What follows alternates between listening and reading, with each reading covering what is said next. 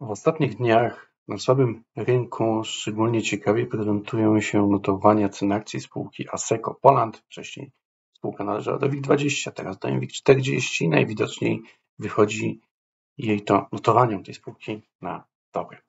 Dzisiaj udało się naruszyć sufit, szczyt majowy, czyli pojawia się tutaj techniczny pretekst do kontynuacji wzrostów, jednakże jest coś innego, co zwraca na siebie uwagę. Mianowicie trójkąt. Trójkąt symetryczny jest to jedna z form, która tutaj może służyć do opisania wydarzeń z ostatnich kwartałów. Ta konsolidacja, która tutaj przybrała właśnie taką postać, może być inaczej oznaczona. Jednakże na chwilę obecną trójkąt taki nie jest błędem i pytanie, czy jest to źródło informacji, które mogłoby posłużyć bykom do odpowiedzi na pytanie, jak wysoko mogłyby ewentualnie ceny zawędrować po takim wybiciu, które jest właśnie obserwowane.